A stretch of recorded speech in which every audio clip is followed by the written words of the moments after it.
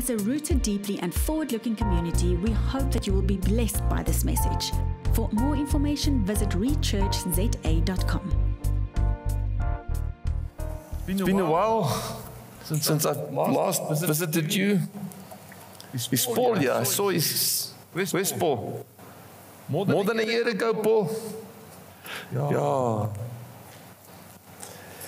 In any case, I want to preach to you out of the book of Judges this morning. Out of the book of Judges. Now, there's a pattern of behavior in the book of Judges. The pattern is very clear. The people rebelled through idolatry and disbelief. Then God brought judgment through foreign oppression.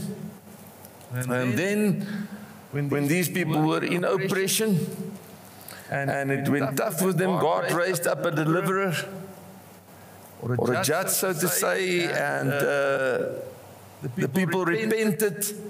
They turned back to, Lord, to God. And when they did that, the Lord delivered them. Now, in, in the context of the book of Judges, He delivered them with a judge, a person that He raised up.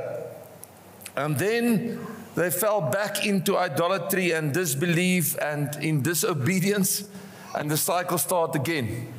And this carried on for between 300 and 400 years if you just isolate the, the, the time of the judges. So uh, it's really a sad story to think that you have to go through a cycle and again and again and again and again. If you read the book of Judges, you'll find 12 designated judges. It's a little bit more than 12, but in any case, there's 12 designated judges in that book. Um, then the one guy is not designated a judge, but he, he, operated as a judge, so, but that's not important. Um, Jewish tradition tells us that Samuel wrote the book of Judges. And uh, there's, a, there's a huge gap between the opinion of the people, how long this period lasted. Most people in agreement that it's about 300 years, but it could be up to 400 years. Reason being that some of the judges, the period of them, some of them might have overlapped. Um, but I think there's something important to just to bear in mind when you look at this space of time in the history of the nation of Israel. Is that I always seem to think in my mind that so the nation sinned as a collective and they turned their back on God, they served these foreign gods. And God uh, equipped one of the foreign nations to oppress them. Um, and, and, and only that is part of the cycle. But in this period, there was really little unity amongst the 12 tribes. So if you just think about it, they came out as a nation 12 tribes out of Egypt, and Moses led them. And, and in this united leader, uh, there was more unity than when they separated. Now, after Moses, Joshua came. He died at the age of 110, and they conquered land. And now it was time for these tribes to take up the inheritance. And I think it's, it's very important for us to think of it because there's a time for us to take up our inheritance. And the way we do it is very important, how we take up our inheritance. But now all of a sudden, even if they, if they, even if they operated as separate tribes under one leader, now the distance is farther. Um, these guys are now all over the land of Canaan and they inherited their inheritance. And there wasn't, there was less unity. That's the point I, want, I wanted to make to you. If, it's not said as such, but one just can see there's less unity. Just think about it. Whenever they fought under a judge against the oppressors, never, not once, were more than six of the tribes united in these battles. Never. And in this 300 years, they fought each other.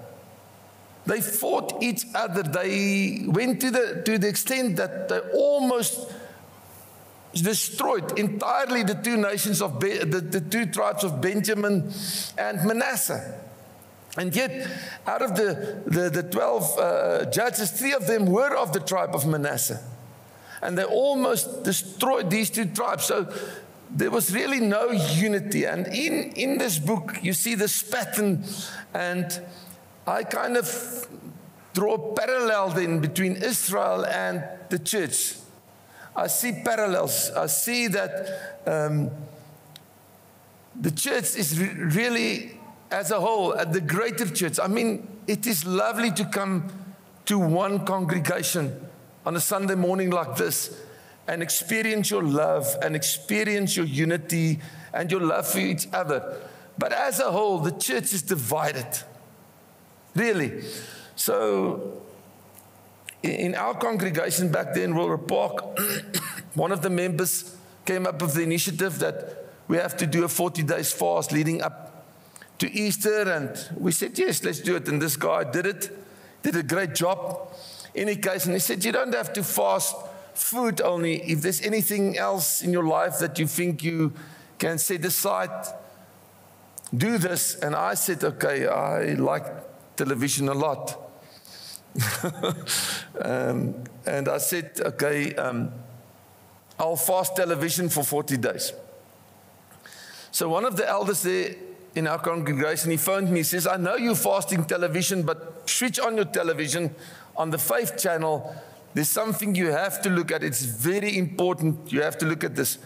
So I, I switched on the television, and it was um, some of the, the big churches, independent churches, really upset with the government for providing these restrictions of, of 50 and 100. And, and you know the whole story about COVID. And these guys were really up in arms. And I was taken up in this conversation, and I realized um, the church is not in unity. I really, I really realized as these tribes in the time of the judges couldn't work together, couldn't serve one God, didn't have one leader as such, uh, uniting them in like Moses did. I realized that the church is, as a whole is in a terrible state, and I got really upset because these famous preachers, and they are really famous, um, huge churches, 20 and 30, 40,000 members, and what have you. They stood up and they said, This can't go on like this. We cannot function. The church is is in a, in, in a, difficult position and we cannot function with 250 people. Uh, we cannot open our doors for 250 people. No, it's a long story, but in any case, what I'm trying to get is I said to myself, should I show unity? My church is small, so we can get along with 100 people, the permission of 100 people in the service, or 200, 250 people in service. We can get along. But these huge and big churches, they can't open their doors. And I've, I, in my spirit, I just felt, what should I do? Should I come in unity with my brothers or not? Um, uh, and I really got upset, really terribly upset in my spirit because these guys, they challenged openly the president of the country and the laws of the country and they said, You can do what you like, Mr. President, but we will open our doors over Easter. And I understand where they're coming from. There's no criticism. Please, uh, just don't hear things that I'm not saying. Don't read between the lines. I said to myself, so we can get along as a smaller community, but our bigger churches can't, can't function in this, in this time. And Shouldn't we be united? This division in the churches is, is, is a problem. And I, and I thought about the, the approach of, of the denomination of, under which I serve. And I, I really got upset because we are not in unity. And uh, people are sitting in the head office and they're making rules and they're sending out letters to us and telling us what to do and how to influence our congregations. And I said, but we're in a disagreement. We, we're not in unity. The church is in a, in a terrible state. And I realized something. I realized that if I, if I open my doors and I accommodate, I fill the house, and the, the authorities come in there and they arrest me and they take me to jail. Oh, it's now, now becoming a serious issue. Am I prepared for that? Uh, and will the brethren, whom I in my mind support, then come and support me?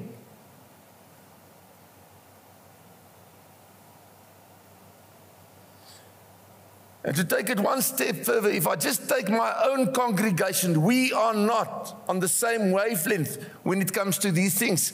Some guys reckons you should not hold church at all. You're careless and you're reckless because you put your people at risk. And some other people says this is nonsense. Fill the church. And it's a simple matter. And we can't have unity. And the people of the judges couldn't work together. So I don't think I'm able to convey to you how upset I got in my spirit. I was becoming nauseous. That's how upset my spirit in me got. So for me, Carl, it was a serious matter, regardless of, of, of how it's perceived by the, the rest of, of, of, of South Africa. Let me read to you out of Judges 2 a couple of verses. Uh, in the 11th verse, it says, They did many things that the Lord had expressly forbidden, including the worshipping of heathen gods. They abandoned Jehovah, the God, um, the, the God loved and worshipped by their ancestors, the God who had brought them out of Egypt Instead, they were worshipping and bowing, bowing low before the idols of the neighboring nations. So the anger of the Lord flamed out against all Israel. He left them to the mercy of their enemies. For they had departed from Jehovah and worshipping Baal and the Ashtaroth's idols. So now, when the nation of Israel went out to battle against its enemies, the Lord blocked their path he had warned them about this, and in fact, have vowed that he would do it. But when the people were in, uh, uh, but when the people were in terrible plight, the Lord raised up judges to save them from their enemies. Yet, even when Israel went, would not listen to the judges, but broke faith with Jehovah by worshiping other gods instead, how quickly they turned away from the true faith of their ancestors, for they refused to obey God's commandments. He just rescued the people of Israel um, from their enemies throughout his lifetime, for the Lord has moved to pity uh, uh, by the groaning of his people under their crushing oppressors. So he helped them as long as that judge lived. So um, and this basically sums up the book of Judges. It really sums up the book of Judges in, in, in chapter 2. So we must move back a little bit. Joshua died, they had to take up the inheritance. And they were instructed how to take up the inheritance. There was a, a clear instructions. When you, when you go into this land, don't leave some of the inhabitants there. Destroy them, take them out. You've got to clear the land properly. You've got to get the land in a condition where there's no influence of these foreigners with their foreign gods on you. Um, and so the first guy that went into battle was, uh, was Judah. Uh, we read in, um, in, in, chapter 2, verse 6 And when Joshua had left the people, um, the, the, the, let the people go. The children of Israel went every man unto his inheritance to possess the land.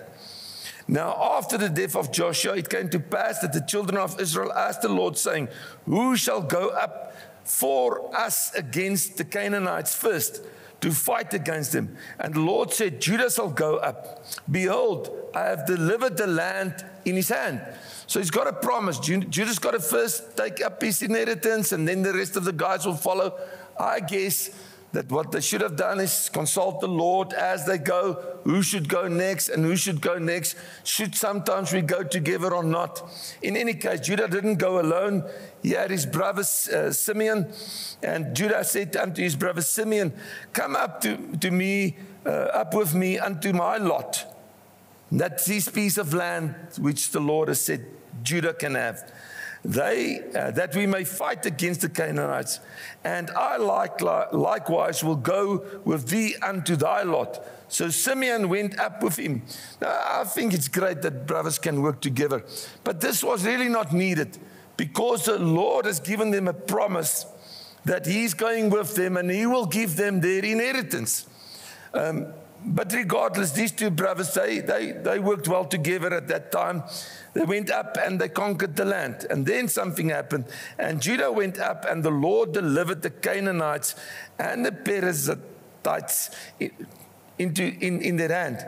And they slew them at Bezek, 10,000 men.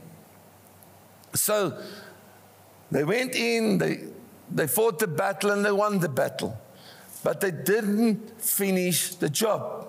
I think that's very important that we just recognize this from scripture. They didn't finish a job.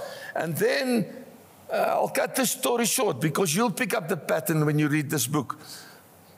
Then the other tribes went to take up their lots, take up their inheritance. And I'll give you just a couple of verses. And the children of Benjamin did not drive out the Jeshubites. So they went up and they didn't, they, they conquered the land, but they didn't drive them out entirely. So didn't Joseph. And the house of Joseph, they also went up against Bethel. Neither did Manasseh drive out the inhabitants of Beth Shean and her towns. Neither did Ephraim drive, and these are all verses in, in, in, in Judges. Neither did Ephraim drive out the, the Canaanites to dwell in Gezer. Neither did Zebulun drive out the inhabitants of Kitron. Neither did Asher drive out the inhabitants of Akko. So there's a pattern. Neither did Naphtali drive out the inheritance of this Beth Shemesh. So we're going up to take up our inheritance, but we only do it partially. And that is that was contrary to the instructions of God. And it's not that God wanted just to kill people for the sake of killing him, but those people, their existence in the land among the tribes caused all the problems. The pattern that follows here is because of that. Because now our neighbors is Canaanites. Our neighbors are people that's not serving the same God we are serving. We are not. We, there's different in, in, in, there's different gods in this piece of land, and so the Israelites they look at these guys and they look at their gods, and they and this caused them to fall into rebellion against their God, the God that brought them out of Egypt. It was these um, um, sorry, I'm going to use this Afrikaans word, boomstamme. They had these three trees that they worshipped and they had all these images, idols that the images that they that they worship. And so the guys that they were supposed to destroy, take them out of the land, take out all these out of, out of the land, which they didn't, they, they partially did it. So they only partially took up the inheritance. That caused them the problems later on. Because now they're living amongst these people, and their children see that these people's, uh, uh, uh, uh, the son sees that these daughters of these Canaanites are beautiful, and they take them as their, as their wives. And the daughter sees that these Canaanite men are handsome, and they take them as their husbands. And there's an integration with these foreign nations and they serve different gods. They bow to different gods. And because of this, there becomes a distance between the Israelites, that tribe, and God. And that is a big, big problem. Even in the church today, it's a problem. Just think about this for a moment. I, I really want you just to consider this for a moment. Are you always on fire for the Lord? Don't raise your hands, please. Are you always obedient to the Holy Spirit? Why not? Why is it that we feel that we get into a service and the anointing of the Lord is there and we have a nice worship service and the worship teacher, team leads us right into the presence of God and we say, well, we can say like David says, we can take on the world.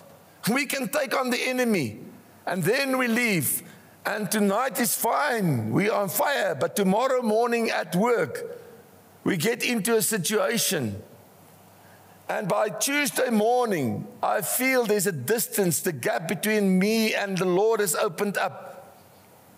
Do you experience things like that? Am I crazy? Is it only me that sometimes experience these things? So now all of a sudden, a gap forming up because on Tuesday morning, I was so much in a hurry.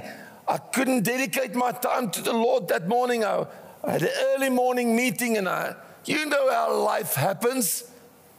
Doesn't it take you in? And then by Wednesday morning, I feel distant from God. I lost my cool in a meeting or something happened.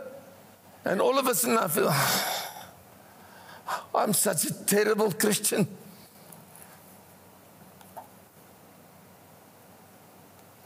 And that's exactly where the enemy wants me. He wants me to feel guilt because that guilt then forces a wedge between me and my Savior, Jesus Christ. It forces a wedge between me. So that we can look at these judges and say, How stupid can humankind be to follow these things for 300 years? How stupid can we be? human beings. The very God that saved me from depression and bipolar. The very God that really touched me. How can I not remember what the Lord has done from Sunday to Tuesday? So I think write that word remembrance on a piece of paper and stick it in your cars and stick it on the fridge. And when you see it, you remember what the Lord has done for you, how He saved you from the enemies, from the Midianites with only 300 men, how He opened up the sea for you to walk on dry ground, how He saved you. Every time, every time He saves you, we just call on the Lord and say, Lord, I need you. So when you read Judges, you will find two things. You'll see that man is very deceivable. It is so easy to deceive man. That is part of our nature. We are deceivable. And read the scriptures. It said, The heart of man is deceivable. The wisest man on the face of the earth. Solomon said it in Proverbs. Our heart can deceive us. My own heart can deceive me.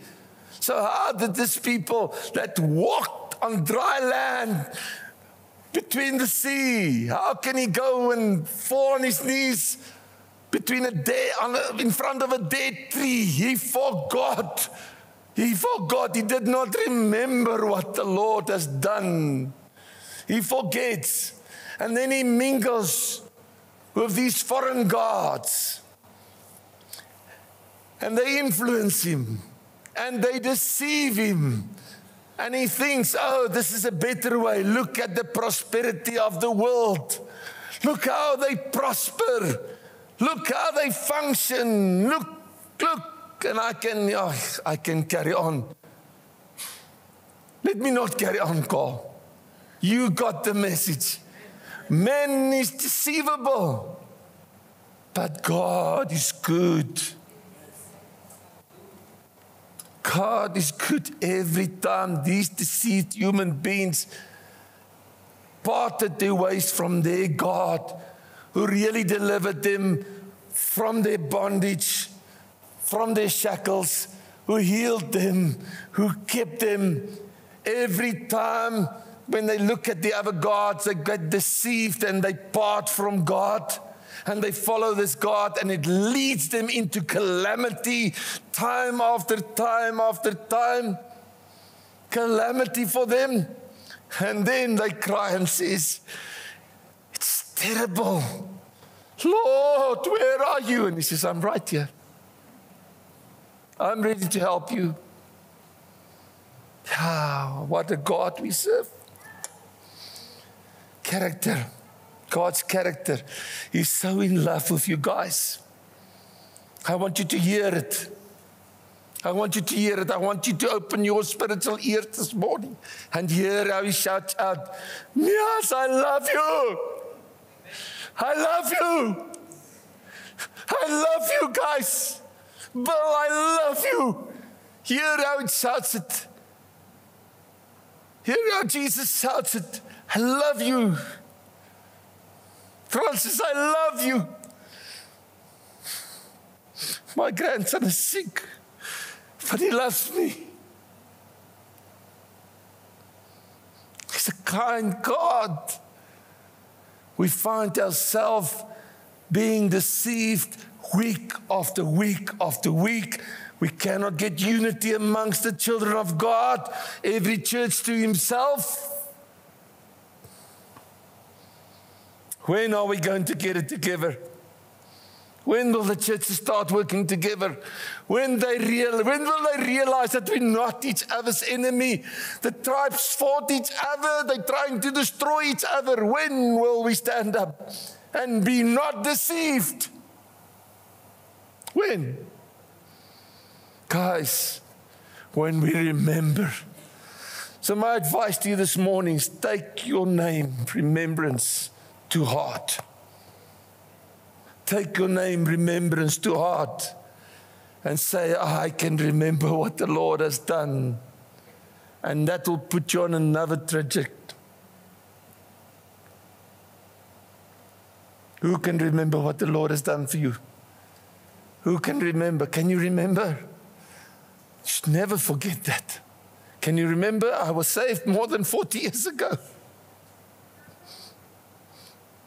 How many times have I told my testimony in the last 10 years?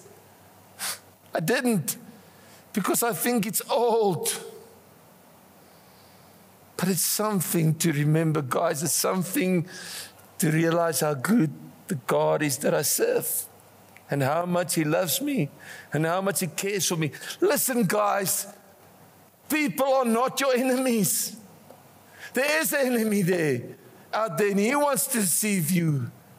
And He wants to lead you astray from this God who loves you. And then we fall into calamity. And there's a pattern. And I've said enough. May the Lord really bless you. May the Lord really bless you. May this church grow from strength to strength.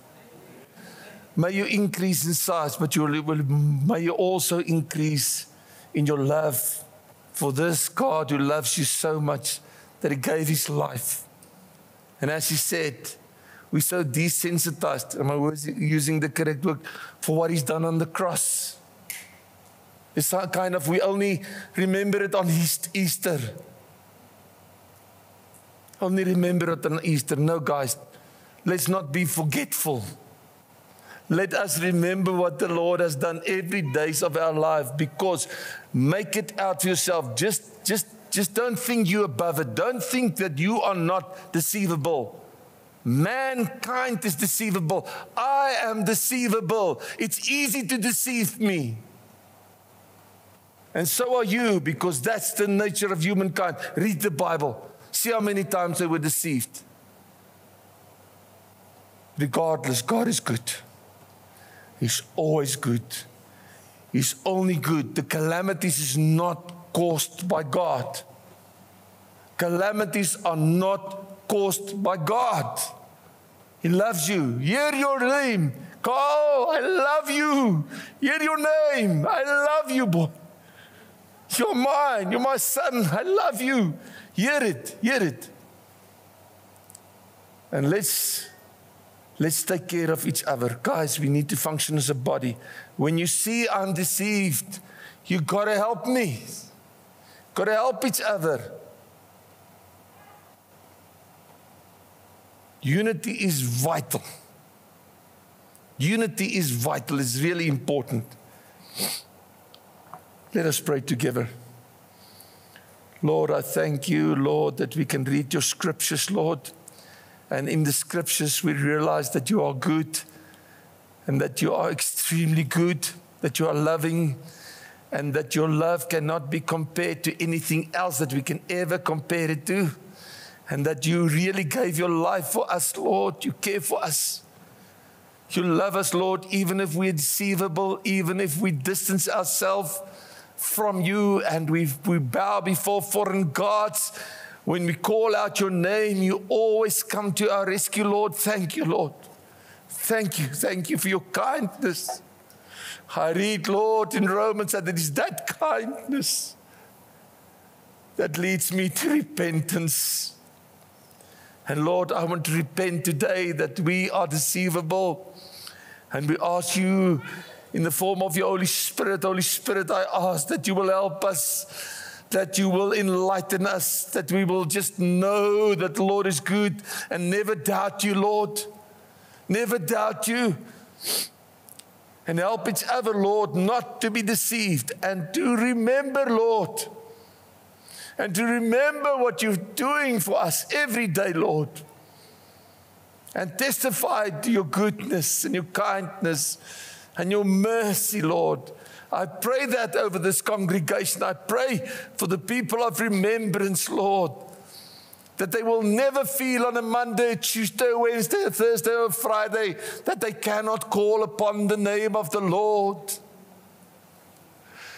That is your desire, even Lord, if we were deceived on Wednesday, call upon your name, Lord. I pray that for this congregation. I pray that you bless them, Lord. I pray, Lord, that you eradicate sin in this congregation. I pray, Lord, that you eradicate disease in this congregation. I pray, Lord, that people will look to this congregation and say, Wow, the Lord is among them. They have unity, they care for each other. And they know that they're deceivable, therefore, they remember what you do and what you've done. Thank you, Lord. I worship you. I worship you, Lord. Thank you. Hallelujah. Thank you, Jesus. Thank you. Thank you. Thank you, Lord. Thank you. Thank you. I want you to just pray, pray for, be prayerful for, for a minute. Are there any person here that needs ministry? Are there any person that needs ministry? You can just raise your hand if you need ministry. I won't call you out. There is a person that needs ministry. Thank you. Thank you. Thank you. So may the Lord just minister to you as you stand there, brother. Holy Spirit, I ask you to personally minister to him. Thank you, Jesus. You minister to him. Thank you. Bless his heart, Lord. Lord, make your love real to him this morning. Make your love real to him, Lord. Let him, in the innermost part of his being, experience your love, Lord. I pray that in Jesus' name. Thank you, Jesus. Amen. Thank you very much for the, for the privilege to preach the Word of God. I tell you, I think many of you are really more competent than the guys or myself standing on the stand. And uh, thank you for listening. May the Lord really bless you and keep you.